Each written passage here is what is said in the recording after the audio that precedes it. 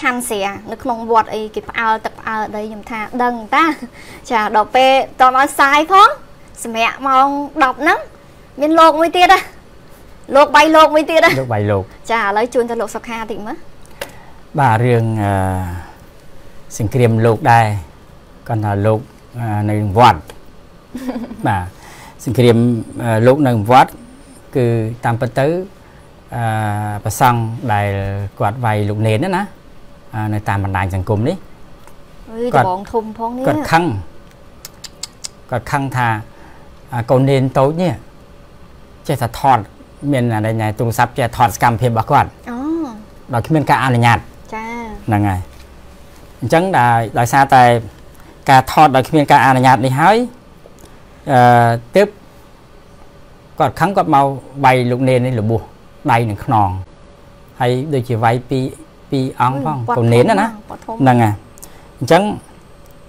អឺការវាយនេះ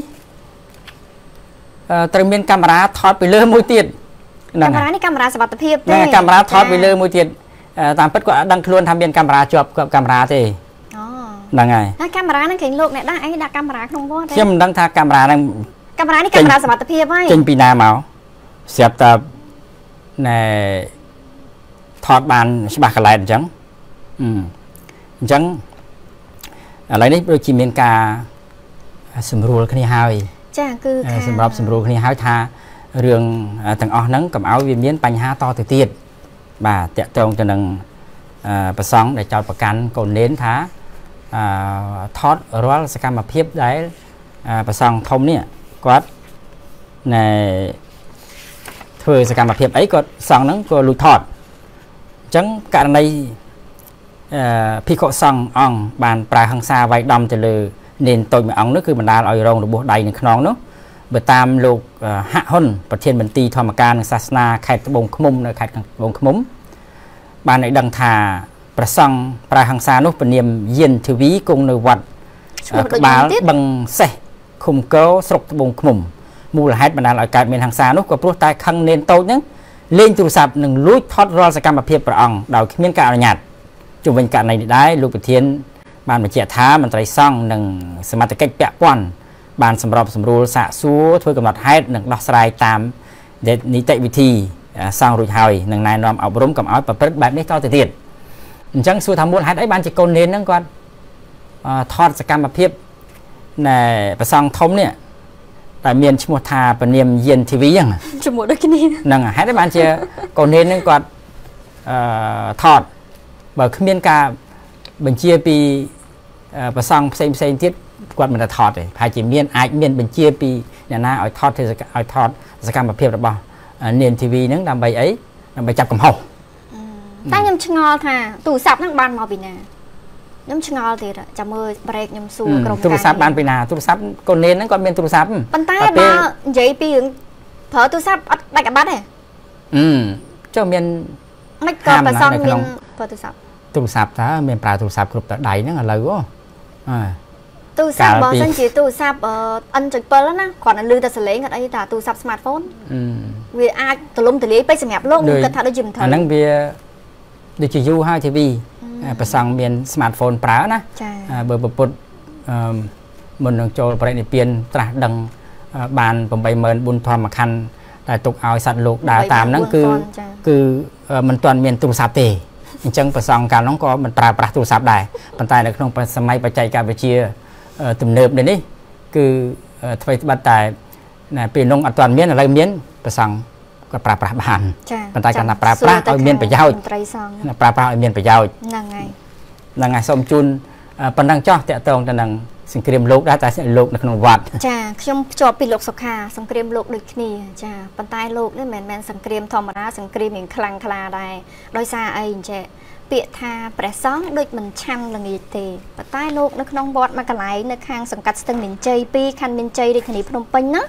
គឺនៅក្នុងវត្តពោធិញានព្រះអង្គលេងលួចឆាន់ស្រាឲ្យក្លែមសាគូអាំងទៀតម៉ោង11កន្លះយប់មានធំខ្លះសេណាហើយមិនព្រមអាណិត ពុទ្ធបរិស័ទមិនទៅវត្តទេអីព្រះអង្គអើយព្រះអង្គប៉ុន្តែឥឡូវផ្សឹកឯណាសឹករួចរាល់ហើយចង់និយាយថារឿងនេះហ่าបងប្អូនប្រជាពលរដ្ឋលោកតាមដានមកយូរហើយសង្ស័យព្រោះជួនកាលយើងមើលតែមុខមើលតែភ្នែកមើលតែសកម្មភាពក៏យើងអាចយល់ថាមនុស្សនឹងយ៉ាងម៉េចដែរមែនអត់កុំអត់ជឿបងប្អូនណាអាហ្នឹងគេហៅចិត្តសាស្ត្រហើយដល់អញ្ចឹងទៅក៏តាមដានទៅស្រាប់តែឃើញម៉ោង11កន្លះយប់ទៅអត់ព្រមសឹងអត់ព្រមអីនេះ នៅគាត់ផេះផេះផេះផេះមានទូខ្លះធុងខ្លះសេក្នុងក្នុងកត់នេះហើយសាច់គោអាំងទៀតហើយបើសិនជានិយាយត្រង់ណាបងប្អូនឥឡូវចូលរួមយោបល់តិចមកបើថាថាយើងកាត់វាមិនដាច់ទេយើងទៅបួសធ្វើអីខូចសាសនាព្រះពុទ្ធសាសនា គឺជាសាសនារបស់រដ្ឋសូម្បីតែថ្ងៃអភិសេកព្រះករណាជីវិតតម្កល់លើត្បូងនៃយើងក៏មានវត្តមានរបស់ព្រះសង្ឃដែរ ហើយចុះយើងបាទនេះជាបុគ្គលទេបាទចាជាបុគ្គលទេក៏ប៉ុន្តែបុគ្គលសង្ឃយើងកុំវាយប្រហារទៅលើសាសនាទាំងមូលត្រឹមត្រូវសាសនាជាសាសនារបស់រដ្ឋជាសាសនារបស់សាសនិកជនរបស់ប្រជាពលរដ្ឋខ្មែរអញ្ចឹងវាមានបុគ្គលហើយបុគ្គលមួយចំនួនហ្នឹងអឺគាត់អត់បានដឹងពីវិន័យសង្ឃទេហើយហើយកន្លងមកនេះទូរទស្សន៍វិទ្យុហងមាសហ្នឹងគឺបានផ្សព្វផ្សាយច្រើនហើយកាលពីដូចជាខែមុននេះមានប្រសង់នៅវត្ត មួយនៅក្នុងអង្គស្នួលខេត្តកដាលនោះគាត់ក៏បែកកំណត់ចូលការ៉ាអូខេហ្នឹងទៅក៏យប់ឡើងដោះស្បង់ហ្នឹងហ่ะក៏ខែសមត្ថកិច្ចចាប់បានហ្នឹងទៅក៏ផ្សឹកទៅអញ្ចឹងសូមឲ្យប្រសង់ដែលគាត់បួសជាឧត្តមភេទហើយបើថាលះបង់មិនទាន់ដាច់ទេកុំបួសសូមណែសឹកចេញសឹកចេញទៅចាពួកខ្ញុំខ្ញុំចង់លើកខាងកន្លែងហ្នឹងដើម្បីបំពេញគេហៅថាបថុជជនធ្ងន់ឲ្យកលេសណាណា វានៅធ្ងន់ឲ្យកលេសនៅឡើយហ្នឹងគឺថាកុំទៅនៅក្នុងវត្តអារាមដែលជាទីសក្ការៈបូជារបស់បងប្អូនប្រជាប្រដ្ឋពុទ្ធបរិស័ទហើយយើងទៅធ្វើផ្ដេសផ្ដាស់ហើយបងប្អូនខ្លះគាត់ឃើញថាប្រសង់អឺមួយអង្គពីរអង្គបុគ្គលធ្វើអញ្ចឹងគាត់យល់ថាគាត់ស្អប់ប្រសង់គាត់ស្អប់សាសនាពុទ្ធអញ្ចឹងបងប្អូនកុំវាយអួរទាំងអស់វាមានមនុស្សវាមាន ខុសខុសគ្នាខ្លះក៏គេគោរពប្រតិបត្តិតាមបានវិន័យសង្ឃខ្លះទៅគោរពមិនបានអញ្ចឹងវាជារឿងមួយអឺណាខែថាជីវិតសត្វលោកស្មើស្មើគ្នាគឺវាអញ្ចឹងប៉ុន្តែគាត់ថាសមត្ថកិច្ចបានធ្វើការដោះស្រាយភ្លាមភ្លាមហើយដោះហើយរឿងហ្នឹងគឺដោះហើយឥឡូវហ្នឹងសង្ឃទាំងពីរអង្គហ្នឹងក៏បានផ្សឹកដែរដោយក្រសួងធម្មការក៏ប៉ុន្តែលោកដេញគង់នៅក្នុងវត្តខាងលើហ្នឹងលោកក៏បានសំណូមពរមកដល់សមត្ថកិច្ចជំនាញក្រសួងធម្មការក៏ដូចជាប្រជាពលរដ្ឋថាសូមបែងចែកឲ្យដាច់ ចាព្រោះលោកនៅក្នុងវត្តនឹងតដែរហ្នឹងលោកផ្សេងអង្គផ្សេងលោកល្អទេទាស់តែពីរអង្គហ្នឹងទេអញ្ចឹងពីរអង្គនេះគឺផ្សឹកហើយមិនអនុញ្ញាតឲ្យបួសបន្តទៀតទេហើយវត្តខាងលើហ្នឹងបើតាមបងប្អូនប្រជាពលរដ្ឋគាត់នៅក្នុងតំបន់ហ្នឹងគាត់ថាអត់ទាន់មានគណៈកម្មការទេហើយមូលហេតុអីដែលអត់ទាន់មានគណៈកម្មការយើងក៏អត់ទាន់ដឹងច្បាស់ដែរអញ្ចឹងខាងក្រសួងធម្មការប្រហែលជានឹងលៃលោកចាត់ចែងដោយសារតែអត់មានគណៈកម្មការក៏អត់មានអ្នកត្រួតពិនិត្យទៅណាបើទោះបីជាមិនមានបច្ចេកអធិការដើម្បីត្រួតពិនិត្យទៅលើវិន័យក៏ដោយ ក៏យើងត្រូវដឹងថាយើងជាឧត្តមភេទគោរពវិន័យសង្ឃដើម្បីជាទីសក្ការៈរបស់បងប្អូនប្រជាប្រដ្ឋដែរនឹងអរគុណច្រើនលោកអ្នកដោយសារតែពេលវេលានៅក្នុងវគ្គទី2បានដល់ទីបញ្ចប់ទៀតហើយយើងខ្ញុំទាំងពីរអ្នកសូមសម្រាប់មួយផ្លែសិនជួបយើងខ្ញុំនៅវគ្គទី3នឹងមានជម្រាបជូននៅព័ត៌មានហើយនឹងខ្ញុំសូមបើកពុំកញ្ចក់ អាប់ដេតរឿងតាក់ទងជាមួយនឹងការបុករះនៅផ្លូវទេពផនហេតុអីបានខ្ញុំលើកយករឿងហ្នឹងដោយសារតែការផ្សាយម្សិលមិញនេះបន្ទាប់ពីយើងផ្សាយទៅក៏មានការវេកញែកពីសំណាក់ទស្សនិកជនមួយចំនួនថាគាត់ឃើញព័ត៌មានខ្លះនិយាយថាឡានហ្នឹងមិនបុកតែម្ដងហ្នឹងទេបុក4ដងហើយចាសុទ្ធតែរះខ្លាំងខ្លាំងអញ្ចឹងប៉ុន្តែរបាយការណ៍របស់យើង ដែលនាងខ្ញុំផ្សាយគឺជារបាយការណ៍ច្បាស់ការយើងទទួលបានពីសមត្ថកិច្ចជំនាញគឺបុករះ3ដងម្សិលមិញដែលយើងផ្សាយអញ្ចឹងថ្ងៃនេះនាងខ្ញុំនៅតែរក្សាព័ត៌មានដដែលថាឡានខាងលើនេះគឺគាត់បានបុករះ3ដងតាំងលើកចុងក្រោយហ្នឹងហើយមូលហេតុនៃការបុករះនេះគឺដោយសារតែគាត់បើកបរនៅក្នុងស្ថានភាពស្រវឹងនេះគឺជាអ្វីដែលយើងទទួលបានក៏ប៉ុន្តែឥឡូវនេះអ្នកបុករះដែលគាត់របួសធ្ងន់ហ្នឹង គាត់អ្នកបុករះគេគាត់របួសធ្ងន់ត្រូវបានបញ្ជូនទៅសង្គ្រោះនៅមន្ទីរពេទ្យលោកសង្ឃភ្លាមភ្លាមបន្ទាប់ពីបុកហើយ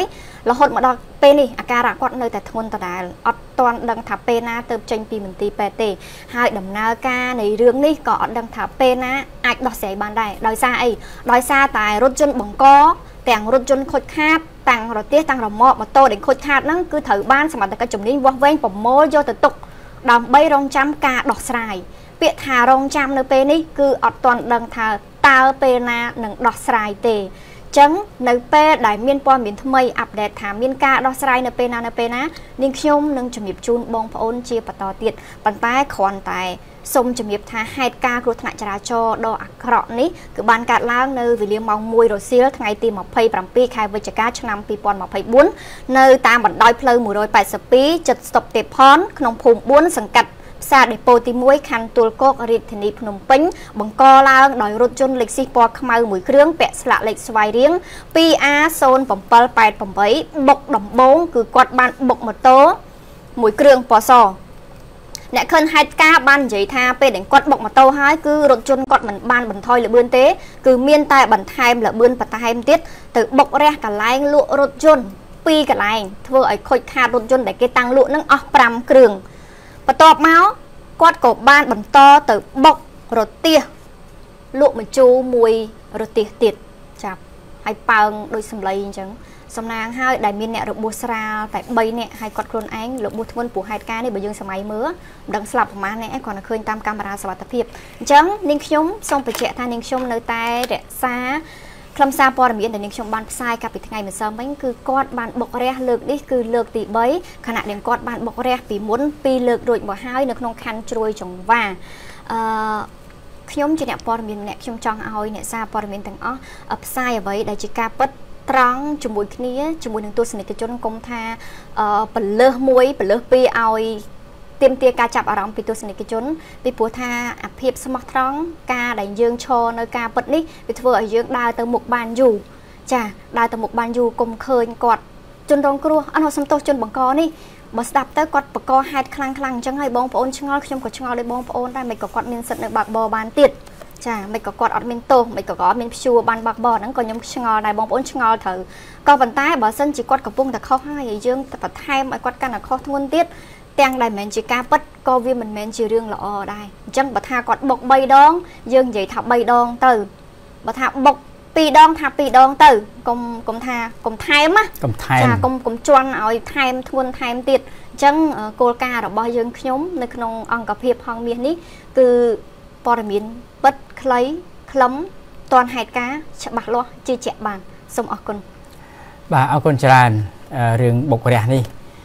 នៅនឹង TV ដូចជាមានរឿងសង្គ្រាមលោកដែរមានសង្គ្រាមលោកមិញរហភ្ជាប់ជាមួយនឹងលោកសុខាពលលោកសុខានៅខាងលោកខាងលិចចាខ្ញុំនេះនៅខាងលោកនៅខាងកម្ពុជារបស់យើងតាមពិតរឿងទាំងអស់ហ្នឹងគឺក្រុមការងារយើងប៉ោងផ្សេងផ្សេងគាត់បានផ្សាយហើយក៏ប៉ុន្តែបងប្អូនម្សិលមិញគាត់ថាមិនអត់លឺខ្ញុំនិយាយអញ្ចឹងរឿងថាលោកផឹក